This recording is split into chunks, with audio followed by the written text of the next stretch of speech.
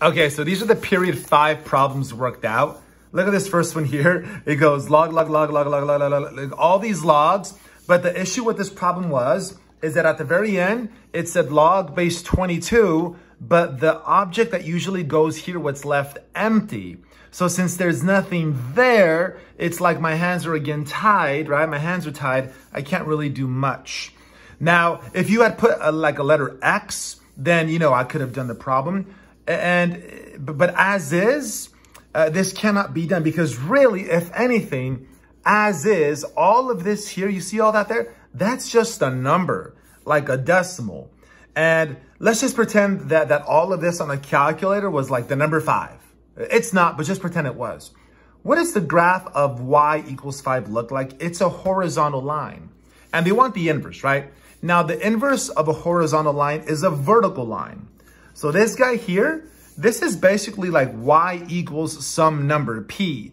And so the inverse of y equals a number p would be x equals p. So I'm calling this my answer, x equals p, where p is all of this here, right there. But of course, you would really have to put a number there or an X. But if you put an X, then I would have found the inverse of this gladly. but as is, that's what we got. Now this guy here, so this was cool. Check this out. They gave me one of those problems where you have to like mix and match this with these guys here. And they even told me to unscramble the letters.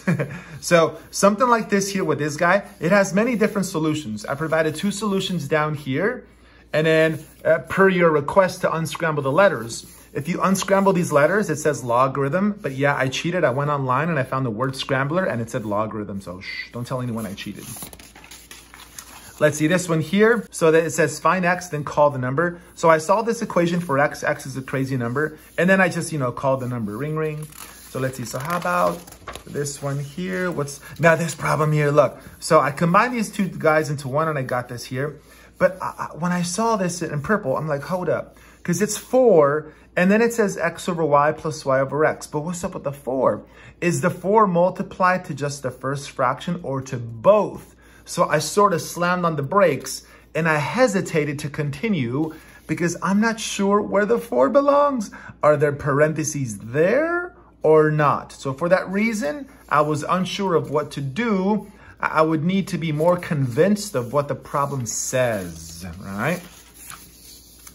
Now here, the, there were no directions, but I'm guessing the goal was to simplify or to evaluate. And right there, I think it says 9 over 9. So log base 10 of 9 over 9. Well, 9 over 9 is 1. And then log base 10 of 1 is 0. So 0 divided by that is still 0. And 0 times all of this gibberish is still 0. I like how they actually put a matrix. That's a 2 by 2 matrix. That's pretty cool. I just noticed that. so this would still be 0. And the, yeah, matrices, you'll learn about matrices and honors pre-calc if you take it with me in the summer. Let's see now this one here. So they said evaluate this without a calculator. But the thing here is that I see an, an equal sign and this is a number. So this is an equation. And now equations can be solved, but not this one because there's no variable. So here it says 42 equals all of this. So I mean, if anything, the answer is just 42 because you're telling me that 42 equals all of this here, right? So maybe the 42 wasn't supposed to be there. I'm not sure if it was scribbled out or not, but then it says like, do it without a calculator. So can you guys do this without a calculator? Cause, cause I can't, right? That looks pretty crazy, right?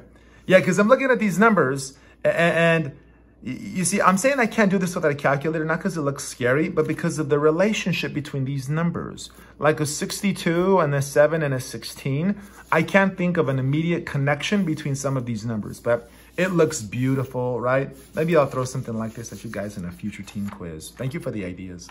so yeah, so these were the period five problems. Thank you guys for your effort and for your creativity. I love doing these kinds of things. So now I have to go and take care of period six.